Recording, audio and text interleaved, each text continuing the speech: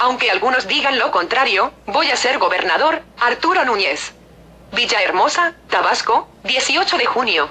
Aunque algunos medios digan lo contrario, todos saben que encabezo las preferencias electorales en Tabasco, y si algunos no me han dado trato equitativo es porque no pude cumplir el acuerdo mercantil que me propusieron algunas empresas, aseveró Arturo Núñez Jiménez al referirse a las encuestas difundidas en diarios locales en las que supuestamente sus contrincantes lo aventajan. El abanderado de la coalición PRD-PT Movimiento Ciudadano explicó que aunque no comparte esa visión, pues respeto mucho la libertad de expresión y la voy a garantizar plenamente una vez que sea gobernador, es necesario dar un tratamiento equitativo a la información que se genera en esta campaña política. Son empresas y como tales están en la libertad y derecho de hacer de su negocio lo que quieran y también de hacer negocio de la política, manifestó Arturo Núñez al afirmar que si el candidato priista gana todas las encuestas es porque tiene el presupuesto público del gobierno de Andrés Granier de su lado, aunque la mejor encuesta está en la calle y se verá el primero de julio.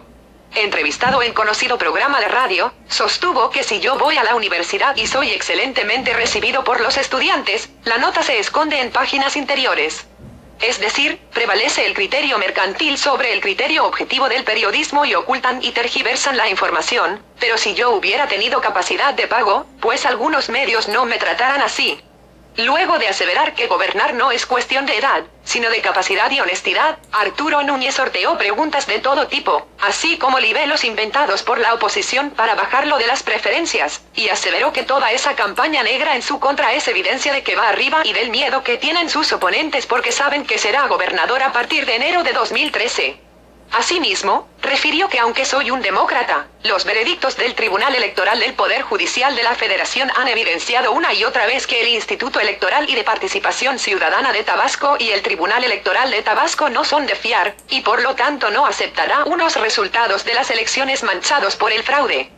Si se me gana en buena lid, asumiré la democracia en su plenitud, pero si existen pruebas de que se fraguó un fraude vamos a defender la elección hasta las últimas consecuencias, adelantó al asegurar que él ganará, pues la hipótesis falsa de que voy a perder solamente se ve en las encuestas pagadas por el PRI gobierno.